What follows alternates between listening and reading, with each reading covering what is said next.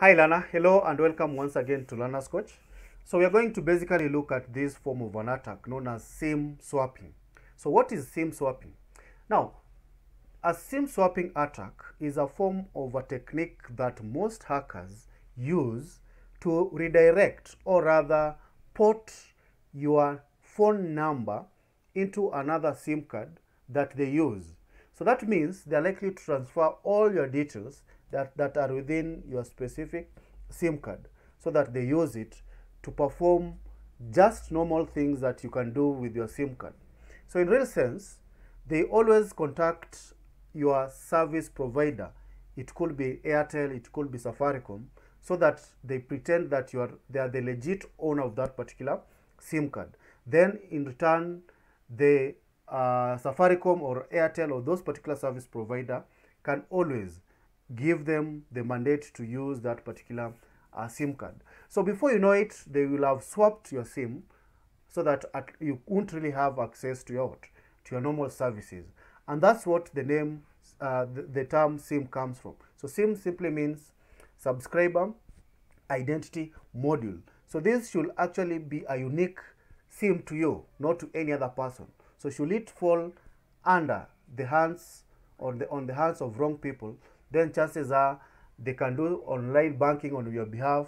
They can do all a number of uh, malicious things on your behalf. So let's see what this SIM swapping attack is all about. So as I already mentioned, uh, this is where the attacker takes over your mobile phone number. Actually, it's the, the phone number, not really the SIM card itself. Yeah, so that they can always pose as the real subscriber. Yeah, so they always contact your service provider. Yeah, so that they can always link that particular number, your legit or genuine number, to the SIM card that they possess. Yeah, so that those particular credentials can be given uh, to them, and that's what uh, that is what informs the concept of SIM swapping. So they can always use some technique, and the common technique that they use is what we refer to as social engineering. Now, social engineering is a hacker technique whereby they can always call your service provider pretending that they know you, or they can always use information similar to what they have gathered from you. So they can get information about you from the social media, they can read more about you. So if they call the service provider, the service pro provider will always think that it's the legit subscriber who is actually uh, calling. So they can always tell subs, uh, the service subscriber such a uh, service provider such as Safaricom that maybe uh, they lost their some uh, their SIM card, so they need it to be replaced, or maybe the SIM card was damaged, so that once the subs uh, the service provider gives them the go ahead, they can always use your SIM card. So it's it's always so actually when this particular attack is successful, the genuine subscribers of the phone will lose connection to the network and they won't be able to make or receive phone calls. So we are going to look at a number of things that you need to take or put into consideration when this kind of attack is really uh, happening. So in a nutshell, this particular uh, diagram indicates the step-by-step -step way of how the SIM swap uh, scam works. So as I had mentioned, the first thing that they do is to monitor, right? They kind of do some eavesdropping on your social media platforms. Yeah, they kind of do some kind of email phishing, right? Email phishing is whereby they uh, send you some link that looks like a, a, legit email so that they can provide your crucial, uh, confidential or private information to them. Yeah. So this particular first step, the attacker collects data on victims. So they really need to know a lot about you, right? Right, like maybe uh, where do you work and such kind of things. Where do you bank, right? Then after they have gathered enough information about you, they proceed to call your service provider, right? So they always perso impersonate yourself, yeah, so that if they the service provider talks with them, they can always feel that they are talking with the real uh, subscriber. Then they trick they they really they trick those particular service providers to giving them uh, the confidential information that they require. So the third stage, the thief or the hacker now tricks the carrier into switching victim's mobile number. And here is where the real swapping uh, takes shape. So once they get hold of your SIM card, they can now proceed to access your confidential information, such as your bank account.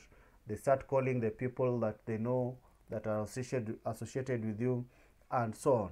So in your in this essence, also on your side, you'll always have some kind of uh, you could always feel that there's some fishy things going on. Yeah, like your SIM card cannot be able to call, you lose networks, and so on. So this is how the swap uh, the swap scam works. Now, how will you know if you are a victim of SIM swap? What actually takes place? Yeah. So the quickest way to find out if your SIM card has been swapped is for your uh, you, your device to lose network connectivity. I think I've already mentioned this. Yeah.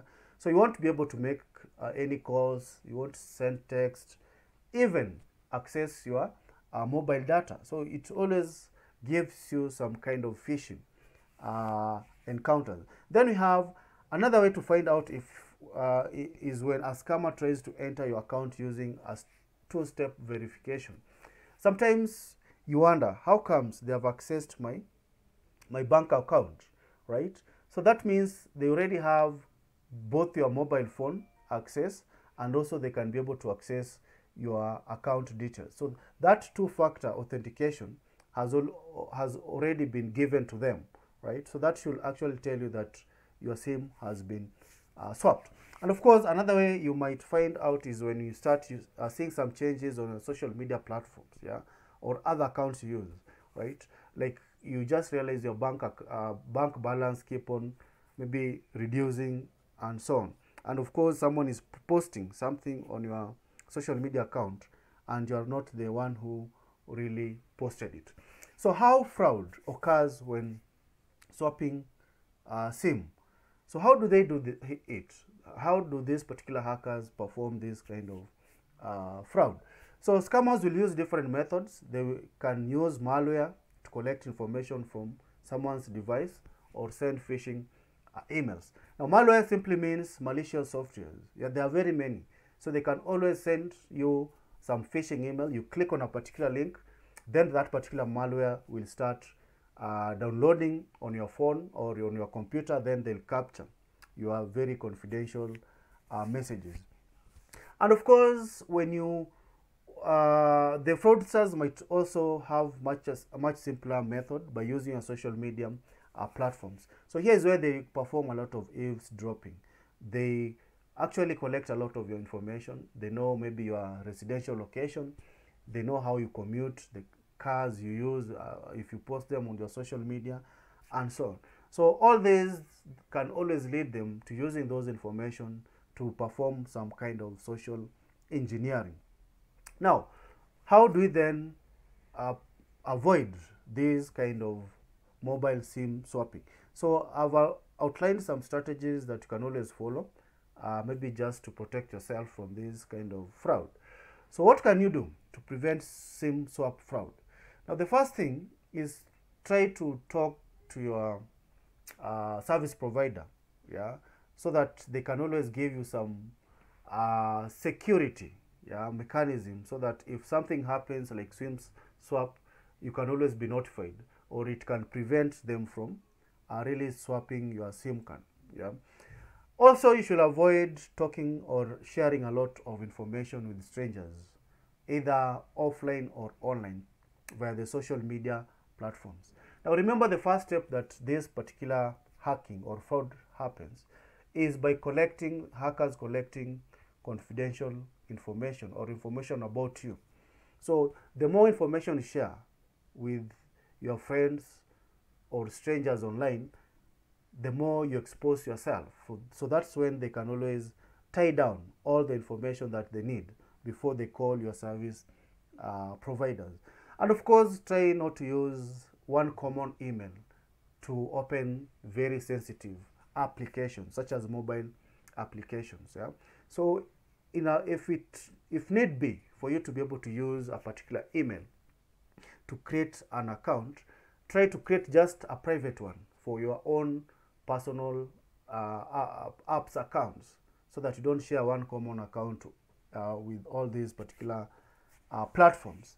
Right, so I think the bottom line here is that you need to really uh, monitor or really avoid sharing a lot of information uh, within your social media uh, platforms. So try as much as possible to reduce the chances of being uh, a victim of this kind of attack. So use two-factor authentication, uh, very, very important. Uh, do not share a lot of information as you have said within your social media account and always take necessary uh, safety measures wherever possible. So for those who are using um, Safaricom as their main carrier, they have also introduced a new uh, protective mechanism. Yeah, how you can you can whitelist your number to stop these unintended SIM swaps.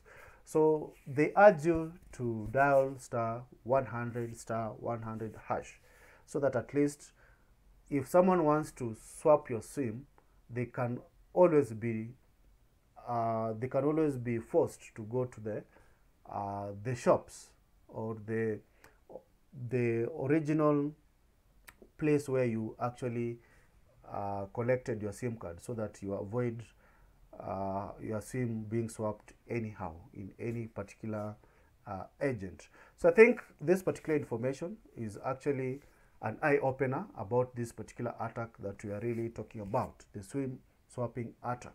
So should you find this information uh, useful, always feel free to share this particular uh, YouTube with the rest so that we help each other. So this is from Learners Coach. Uh, you can find us from uh, on Facebook, we are on Twitter, and of course we are right here on YouTube. So always feel free to subscribe and follow along.